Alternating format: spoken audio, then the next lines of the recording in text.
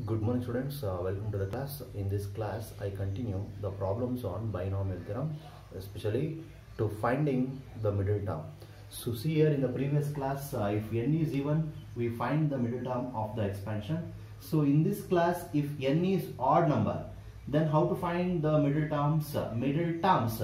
Here, actually n ಏನಾದರೂ ಆಯ್ತು ಆಯ್ತಂದ್ರೆ ನಮಗೆ ಎರಡು ಟರ್ಮ್ ಎರಡು ಮಿಡಲ್ ಟರ್ಮ್ಸ್ ಬರುತ್ತೆ. ಸೊ ಆ ಮಿಡಲ್ ಟರ್ಮ್ಸ್ನ ಹೇಗೆ ಫೈಂಡ್ ಔಟ್ ಮಾಡ್ತೀವಿ? ಅದನ್ನ ಡಿಸ್ಕಸ್ ಮಾಡ್ತಾ ಹೋಗೋಣ. So see the today's first problem that is fifth problem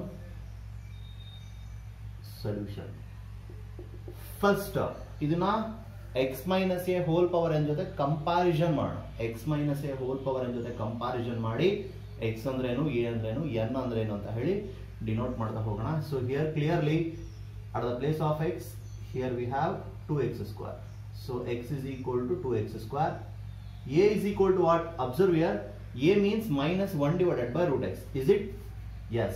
So, a is equal to minus 1 divided by root x.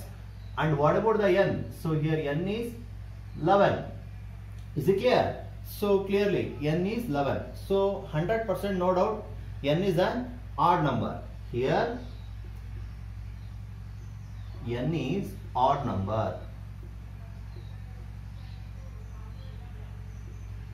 So observe ಮಾಡಿ ಕರೆಕ್ಟಾಗಿ ಅದನ್ನ ನಾವು ಫಸ್ಟ್ ಬರ್ಕೊಳ್ಬೇಕು ಎನ್ ಈವನ್ ಆಡ ಅಂತ. ಯಾಕೆ ಅಂದ್ರೆ ಎನ್ ಈವನ್ ಆಗಿದ್ರೆ ಎಷ್ಟು ಮಿಡಲ್ ಟರ್ಮ್ ಬರುತ್ತಾ? ಒಂದೇ ಮಿಡಲ್ ಟರ್ಮ್ ಬರೋದು. ಹೌದಲ್ಲ? If n is odd then we have we got two middle terms ಎರಡು ಮಿಡಲ್ ಟರ್ಮ್ಸ್ ಬರುತ್ತೆ. ಸೊ ಯಾವ್ದು ಮಿಡಲ್ ಟರ್ಮ್ಸ್ ಅಂತ ಹೇಳಿ ನೆಕ್ಸ್ಟ್ ನಾವು ಅದನ್ನ ಫೈಂಡ್ ಔಟ್ ಮಾಡಬೇಕು.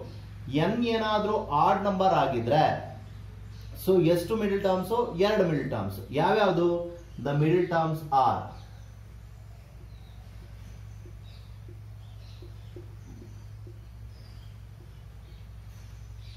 n plus one divided by two ಹೌದಲ್ಲ? N plus one divided by twoth term and n plus 1 divided by 2 plus 1th term. So these two are the middle terms. n plus 1 divided by 2 term and n plus 1 divided by 2 plus 1 whole term. So that is here n is 11. So put n is equal to 11. So 11 plus 1 divided by 2 and 11 plus 1 divided by 2 plus 1 so 11 plus 1 is 12 12 by 2 is 6th term and uh, here 12 by 2 is 6 6 plus 1 is 7 sixth term and seventh terms are the middle terms ಅರ್ಥ ಆಗ್ತಾ ಇದೆ ನಾ ಹೇಳ್ತಿರೋದು so ನಾವು n ಏನಾದ್ರೂ odd number ಆಗಿದ್ರೆ ಎರಡು middle terms ಬರುತ್ತೆ. ಅದನ್ನ ಫೈಂಡ್ ಔಟ್ ಮಾಡೋದಕ್ಕೆ ಇದು ಫಾರ್ಮುಲಾ ಸೊ ಇಂದ ನಾನು ಲಾಸ್ಟ್ ಕ್ಲಾಸ್ ಮೇಲೆ ಈ ಫಾರ್ಮುಲಾನ ಬರ್ಸಿದ್ದೆ. ಆ ಫಾರ್ಮುಲಾ ಬೇಸಿಸ್ ಮೇಲೆ ಯಾವ್ಯಾವ ಟರ್ಮ್ಸ್ ಮಿಡಲ್ ಟರ್ಮ್ಸ್ ಅಂತ ಹೇಳಿ ಫೈಂಡ್ ಔಟ್ ಮಾಡಿದ್ವಿ. ಇಲ್ಲಿ ನಮಗೆ ಏನು ಸಿಕ್ತೋ? ಎಷ್ಟನೇ ಟರ್ಮ್ ಮಿಡಲ್ ಟರ್ಮ್ ಅಂತ ಹೇಳಿ ಗೊತ್ತಾಯಿತು. ಅಷ್ಟೇನೆ. ಮಿಡಲ್ ಟರ್ಮ್ ಯಾವುದು ಅಂತ ಗೊತ್ತಾಗಿಲ್ಲ. ಎಷ್ಟನೇ ಟರ್ಮ್ ಯಾವ ಟರ್ಮ್ ಮಿಡಲ್ ಟರ್ಮ್ ಅಂತ ಹೇಳಿ ಗೊತ್ತಾಗಿದೆ. ಸೊ ಅದನ್ನ ನಾವು ಇವಾಗ ಇಲ್ಲಿ ಫೈಂಡ್ ಔಟ್ ಮಾಡಬೇಕು. ನೆಕ್ಸ್ಟ್ ಮಿಡಲ್ ಟರ್ಮ್ ಯಾವುದು ಅಂತ ಹೇಳಿ ಕಂಡುಹಿಡಬೇಕು ಎಷ್ಟನೇದಂತ ಗೊತ್ತಾಗಿದೆ? ಸಿಕ್ಸ್ತ್ ಟರ್ಮ್ ಏನು? Seventh term of this expansion ಏನು ಅಂತ ಹೇಳಿ ಫೈಂಡ್ ಔಟ್ ಮಾಡಬೇಕು. We have to find the sixth term and seventh term of this expansion ಈ ಎಕ್ಸ್ಪ್ಯಾನ್ಷನ್ನ ಸಿಕ್ಸ್ತ್ ಟರ್ಮ್ ಏನ್ ಬರುತ್ತೆ? ಸೆವೆಂತ್ ಟರ್ಮ್ ಏನ್ ಬರುತ್ತೆ ಅಂತ ಫೈಂಡ್ ಔಟ್ ಮಾಡಬೇಕು. ಹೇಗೆ? As usual we already know how to find the nth term general term ಇಂದ ಎಕ್ಸ್ಪಾನ್ಷನ್ ಜನರಲ್ ಟರ್ಮ್ನ ಫೈಂಡ್ ಔಟ್ ಮಾಡೋದು ಹೇಗೆ ಅಂತ ನಮಗೆ ಗೊತ್ತಿದೆ. ಸುಮಾರು ಪ್ರಾಬ್ಲಮ್ಸ್ಗಳನ್ನ ಅದರಲ್ಲಿ ಡಿಸ್ಕಸ್ ಮಾಡಿದೀವಿ. ಸೊ ಅದನ್ನೇ ಯೂಸ್ ಮಾಡಿಕೊಂಡು ಸೊ ನಾವಿಲ್ಲಿ ಸಿಕ್ಸ್ತ್ ಟರ್ಮ್ ಮತ್ತು ಸೆವೆಂತ್ ಟರ್ಮ್ನ ಫೈಂಡ್ ಔಟ್ ಮಾಡಬೇಕು. ಹೇಗೆ ಫೈಂಡ್ ಔಟ್ ಮಾಡ್ತೀವಿ ಅಂತ. ಸೊ ನೋಡಿ we have what is the general term in the expansion that is t r plus one is equal to n c r into x to the power of n minus r into a to the power of r so this is the general term So substitute ಮಾಡೋಣ values ಎಲ್ಲ. So ನೋಡಿ first ನಾನು sixth ಟರ್ಮ್ನ find ಔಟ್ ಮಾಡ್ಬೇಕು. Sixth term find out ಮಾಡ್ಬೇಕಂದ್ರೆ ಈ r plus one ಇರೋ ಜಾಗದಲ್ಲಿ ಏನಾಗಬೇಕು? ಸಿಕ್ಸ್ ಬರಬೇಕು. So put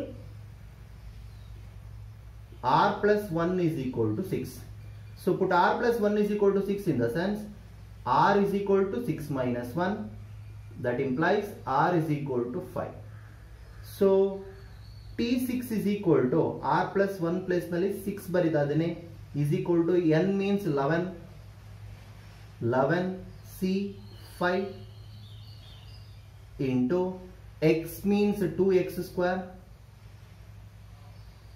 whole to the power of n minus r n means 11 minus r means uh, 5 into next a means observe here minus 1 divided by root x is a whole to the power of r r means 5 so now simplify this 11c5 2x square whole to the power of 6 into minus 1 to the power of 5 divided by root x means x to the power of 1 by 2 whole to the power of 5 ಇದನ್ನು ತುಂಬಾ ಸತಿ ಹೇಳಿದ್ದೀನಿ ನಾನು ಹೇಗೆ find out ಮಾಡೋದು ಹೇಗೆ ಬರಿತೀವಿ ಅಂತ ನೆಕ್ಸ್ಟ್ ನೋಡಿ further simplification t six is equal to eleven c five ಹಾಗೆ ಇರಲಿ. ಈ ಹೋಲ್ ಪವರ್ ಸಿಕ್ಸ್ನ ಟರ್ಮ್ ವೈಸ್ ಟೂಗೆ ಒಂದ್ಸತಿ ಎಕ್ಸ್ ಸ್ಕ್ವೇರ್ಗೆ ಒಂದ್ಸತಿ ಪ್ರಾಡಕ್ಟ್ ಅಲ್ಲಿ ಇರೋದ್ರಿಂದ ಹಾಗೆ ನಾವು ಇಂಡಿವಿಜುವಲ್ ಪವರ್ನ ಆಪರೇಟ್ ಮಾಡ್ಬೋದು. ಸೊ ಆಪರೇಟ್ ಮಾಡಿಕೊಂಡ್ರೆ two to the power of six into x square whole to the power of six into minus one to the power of five ಅಂದ್ರೆ minus one because five is an odd number negative number minus one power ಯಾವುದೇ odd number ಬಂದ್ರು minus ಬರುತ್ತೆ ಹಾಗಾಗಿ minus one power five is minus one now x to the power of 1 by 2 whole to the power of 5 means 1 by 2 into 5 is x to the power of 5 by 2 so this is x to the power of 5 by 2 now simplify this plus into minus is minus 11 c 5 2 to the power of 6 uh, means x 30 sorry 64 2 to the power of 6 is uh, 64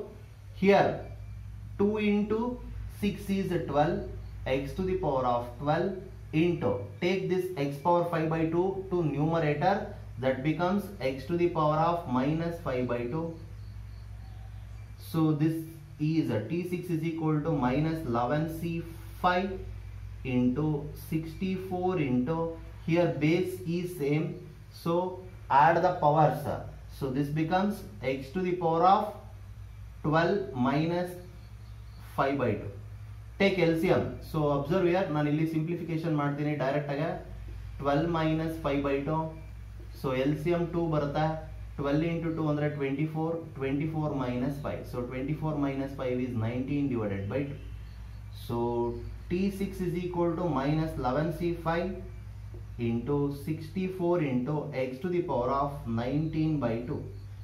So, this is the sixth term in the expansion. Here ನಾವಿಲ್ಲಿ sixth ಟರ್ಮ್ನ find out ಮಾಡಿದ್ದೀವಿ actually ನಾವೇನು ಮಾಡಬೇಕು ಇನ್ನು? Sixth term ಅಷ್ಟೇ ಅಲ್ಲ, ಒಂದೇ ಅಲ್ಲ ಮಿಡಲ್ ಟರ್ಮ್ ಇರೋದ. ಇನ್ನೂ ಒಂದಿದೆ ಸೆವೆಂತ್ ಟರ್ಮ್ ಕೂಡ ಮಿಡಲ್ ಟರ್ಮ್ ಇದೆ. ಅದನ್ನು ಕೂಡ ನಾವು ಫೈಂಡ್ ಔಟ್ ಮಾಡಬೇಕು. ಸೊ ಐ ಥಿಂಕ್ ನಾನು ಇವಾಗ ಇಲ್ಲಿ ಇಷ್ಟು ಏನು ಹೇಳಿದೆ? ಇದು ನಿಮಗೆ ಅರ್ಥ ಆಗಿದೆ ಅಂತ ಅನ್ಕೊಂತೀನಿ. ನೆಕ್ಸ್ಟ್ ಸೆವೆಂತ್ ಟರ್ಮ್ನ ಫೈಂಡ್ ಔಟ್ ಮಾಡೋಣ.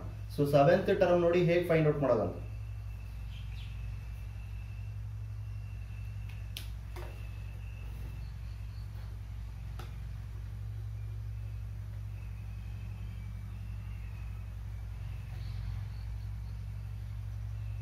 ಸೊ ಸೆವೆಂತ್ ಟರ್ಮ್ನ ಫೈಂಡ್ ಔಟ್ ಮಾಡ್ಬೇಕಾದ್ರೆ put r plus one is equal to seven ಇಲ್ಲಿ r plus one is equal to six ಅಂತ ಸಬ್ಸ್ಟಿಟ್ಯೂಟ್ ಮಾಡಿದ್ವಿ.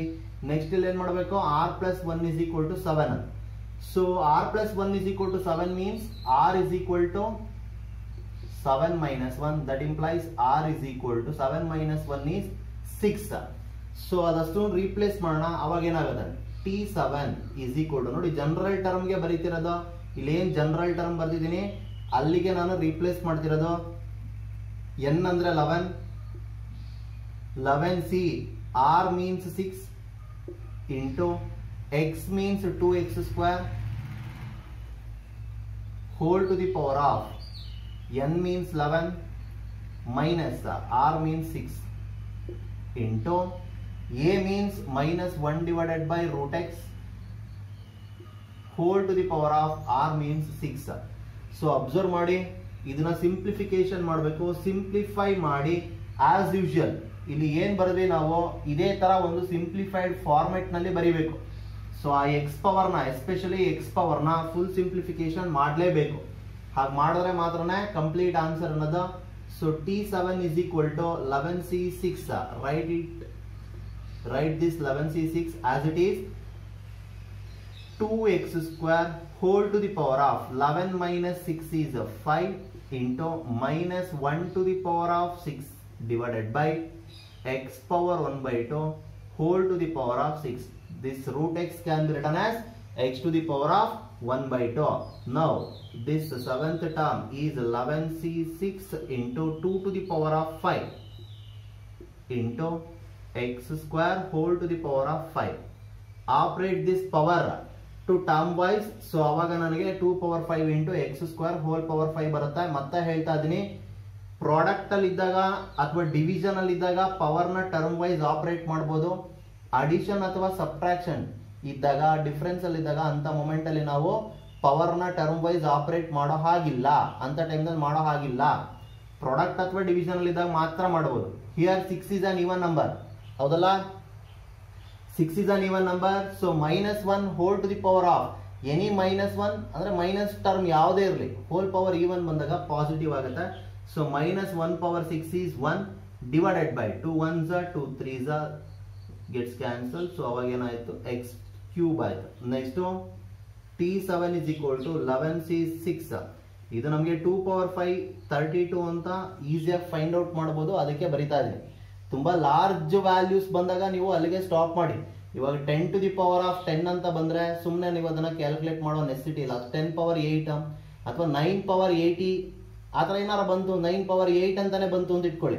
ಅಂಥವೆಲ್ಲ ನೀವು ಸಿಂಪ್ಲಿಫಿಕೇಶನ್ ಮಾಡಿದಿರಾ, ಹಾಗೆ ಬೇಕಾದ್ರೆ ಬರೀರಿ ನೋ ಪ್ರಾಬ್ಲಮ್ ಬಟ್ ಇದು ಗೊತ್ತಿರೋದ್ರಿಂದ ಬರಿತಾ ಇದ್ದೀನಿ ಅಷ್ಟೇ next x to the power of two into five is ten into take this x cube to numerator so this becomes x to the power of minus three So then T7 is equal to 11C6 uh, into 32 into x to the power of 10 minus 3 is 7.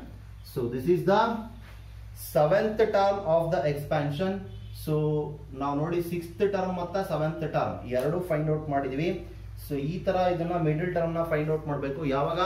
When n is odd so when n is odd we have to find the middle term of the expansion like this so next problem sixth one ಇದೆಲ್ಲ ತುಂಬಾ simple problems ಇದು. ನಿಮ್ಗೆ middle term ಯಾವ್ದಂತ ಹೇಳಿ ಗೊತ್ತಾದ್ರೆ general ಟರ್ಮ್ಸ್ನ ಈಗ already ನಾನು find out ಮಾಡೋದು ಹೇಳ್ಕೊಟ್ಟಿದ್ದೀನಿ ಅಲ್ವಾ? ಸೊ ಅದೇ ತರನೇ ಫೈಂಡ್ ಔಟ್ ಮಾಡ್ತಾ ಹೋಗ್ತೀವಿ ಅಷ್ಟನ್ನ so sixth term is sorry sixth problem is solution here x is equal to 3x a is equal to x square divided by 2 and uh, n is equal to 7 so next uh, here n is odd number. So if n is odd number we have the two middle terms. The middle terms are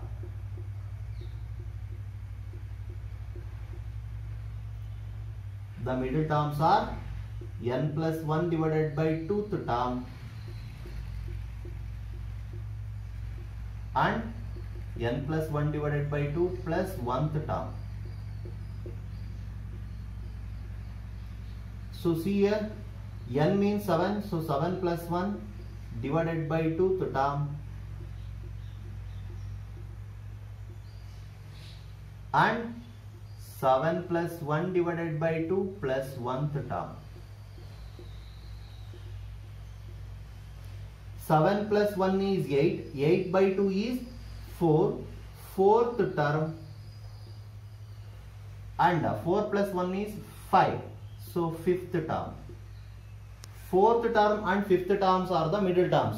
Next you have to find the 4th term and 5th terms of this expansion by using the general term in the expansion. General term in the expansion ಏನಿದೆ ಅದನ್ನ use ಮಾಡ್ಕೊಂಡು fourth term ಮತ್ತೆ fifth ಟರ್ಮ್ನ find out ಮಾಡಬೇಕು. ನಾನು ಹೇಳಿದ ಅರ್ಥ ಆಯ್ತಾ?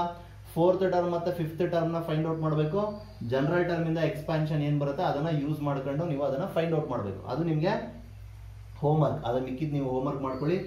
ಅದೇ ತರ ಸೆವೆಂತ್ ಮತ್ತೆ ಏಯ್ತ್ ಪ್ರಾಬ್ಲಮ್ನ ನೀವೇ ಮಿಡಲ್ ಟರ್ಮ್ನ ಫೈಂಡ್ ಔಟ್ ಮಾಡಿ ನೆಕ್ಸ್ಟ್ ಎಷ್ಟನೇ ಮಿಡಲ್ ಎಷ್ಟನೇ ಟರ್ಮ್ಸ್ ಮಿಡಲ್ ಟರ್ಮ್ಸ್ ಅಂತ ಫೈಂಡ್ ಔಟ್ ಮಾಡಿ ಆ ಪರ್ಟಿಕ್ಯುಲರ್ ಮಿಡಲ್ ಟರ್ಮ್ಸ್ನ ನೀವು ಫೈಂಡ್ ಔಟ್ ಮಾಡಬೇಕು by using the general term ಇಂದ ಎಕ್ಸ್ಪ್ಯಾನ್ಷನ್ ಯಾಕೆ ಹೇಳ್ತಾ ಇದ್ದೀನಿ ಅಂದ್ರೆ ಈಗ ಆಲ್ರೆಡಿ ಜನರಲ್ ಟರ್ಮ್ ಇಂದ ಎಕ್ಸ್ಪ್ಯಾನ್ಷನ್ ಮೇಲೆ ಸುಮಾರು ಪ್ರಾಬ್ಲಮ್ಸ್ಗಳನ್ನ ಮಾಡಿಸಿದ್ದೀನಿ. ಹೇಗೆ ನಾವು ಜನರಲ್ ಟರ್ಮ್ ಇಂದ ಎಕ್ಸ್ಪ್ಯಾನ್ಷನ್ನ ಯೂಸ್ ಮಾಡ್ಕೊಂಡು ಟರ್ಮ್ಸ್ನ ಫೈಂಡ್ ಔಟ್ ಮಾಡ್ತೀವಿ ಅನ್ನೋದ್ರ ಬಗ್ಗೆ ನಾವು ಸುಮಾರು ಪ್ರಾಬ್ಲಮ್ಸ್ಗಳನ್ನ ಡಿಸ್ಕಸ್ ಮಾಡಿದೀವಿ. ಹಾಗಾಗಿ ನೀವು ಇದನ್ನ ಸಾಲ್ವ್ ಮಾಡಬೇಕು. ಸೊ ಇದನ್ನ ನೀವು ಸಾಲ್ವ್ ಮಾಡಿದ್ರೆ ನಿಮಗೆ ಪ್ರಾಕ್ಟೀಸ್ ಆಗೋದು. ಸಾಲ್ವ್ ಮಾಡಿ ನನಗೆ ಹೋಮ್ವರ್ಕ್ ಮಾಡಿ ಕಳಿಸ್ಬೇಕು. So must and should so ನಾನು ಹೇಳಿದ್ದೀನಿ ನಿಮಗೆ ಇಷ್ಟು ಅರ್ಥ ಆಗಿದೆ ಅಂತ ಅನ್ಕೋತೀನಿ. ಏನಾನ ಡೌಟ್ ಇದ್ರೆ ಕ್ಲಾರಿಫೈ ಮಾಡ್ಕೊಳ್ಳಿ ಆಯ್ತಾ? Thank you for watching thank you one all